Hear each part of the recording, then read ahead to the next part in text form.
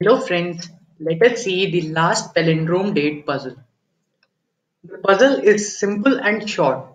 You need to find the last palindrome date before 2nd October 2001. Be careful in the format of the date. It is month, day and then the year.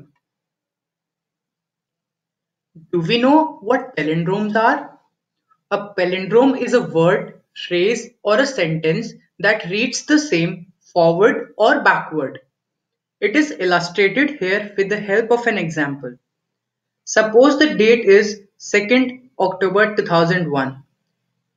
When it is read from left to right or right to left, it is the same as shown here. A hint to this puzzle is that any year may have either one palindrome or no palindrome dates. For simplicity, we have divided the date into the following way. M1 and M2 represent the month, D1 and D2 represent the date, and the year is represented in the form of D2 D1 and M2 M1. That is, the digits of the year are the combination of the digits of the month and the day.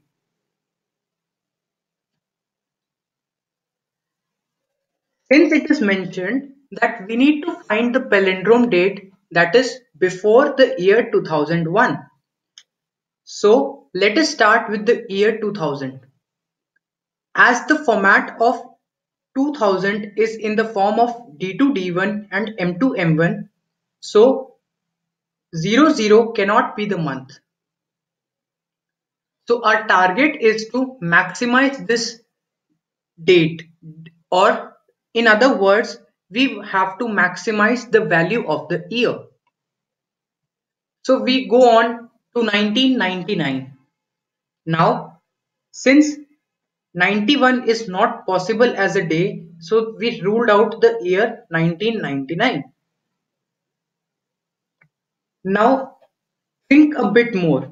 The largest day possible in any month is 31. So the largest possible value of the first two digits in the year can be 13 that is the reverse of 31. So our one problem is solved that is we have decided D1 D2 or D2 D1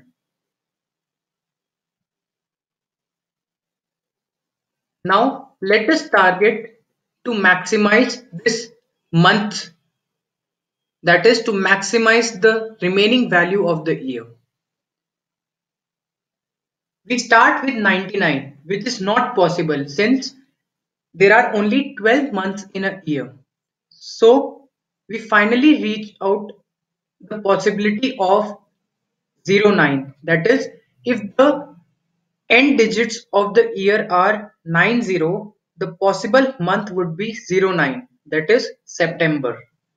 So our date comes out to be 31st September 1390. Don't you think something is wrong? Look at the date again. How many days are there in the month of September?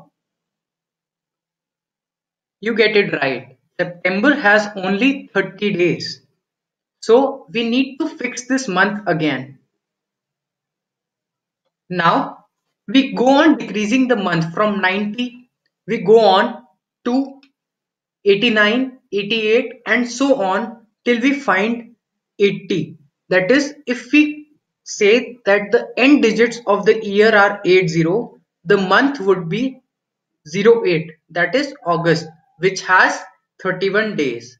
So our palindrome date is 31st August 1390.